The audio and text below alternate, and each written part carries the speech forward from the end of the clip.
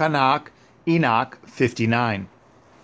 In the 500th year, and in the seventh month, on the 14th day of the month, of the lifetime of Chanakh, in that parable, I saw that the heaven of heavens shook, that it shook violently, and that the powers of El Elyon and the angels, thousands and thousands and myriads of myriads, were agitated with great agitation.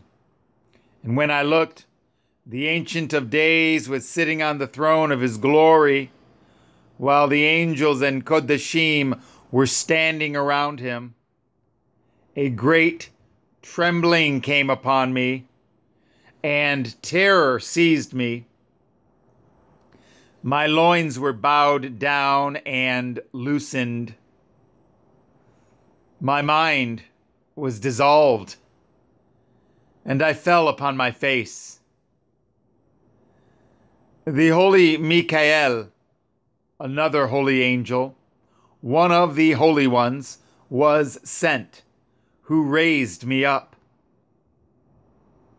And when he raised me, my Ruach returned for I was incapable of enduring this vision of violence, its agitation, and the concussion of heaven. Then holy Michael said to me, Why are you disturbed at this vision? Hitherto has existed the day of mercy, and he has been merciful and long suffering towards all who dwell upon the earth.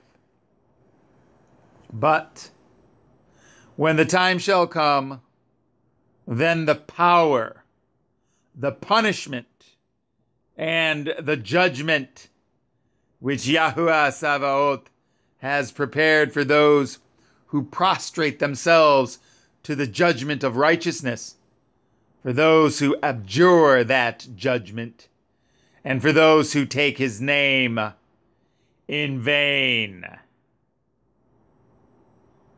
That day has been prepared for the elect as a covenant, and for sinners as an inquisition. In that day shall be disturbed two monsters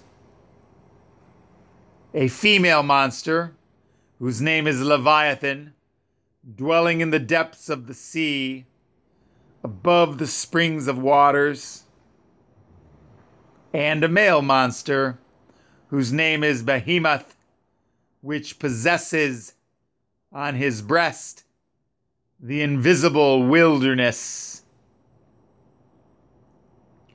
His name was Dendaen in the east of the garden, where the elect and the righteous will dwell, where he received it from my ancestor, who was man, from Adam, the first of men, whom Yahuwah Savaoth made. Then I asked of another angel to show me the power of those monsters, how they became separated how they became separated on the same day one in the depths of the sea, and one in the dry desert. And he said, You, son of Adam, are here desirous of understanding secret things. And the angel of peace, who was with me, said, these two monsters are by the power of Elohim prepared to become food, that the punishment of Elohim may not be in vain. Then shall children be slain with their mothers, and sons with their fathers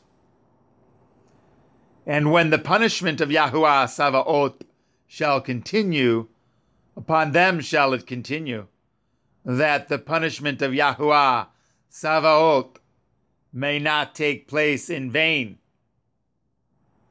After that, judgment shall exist with mercy and long suffering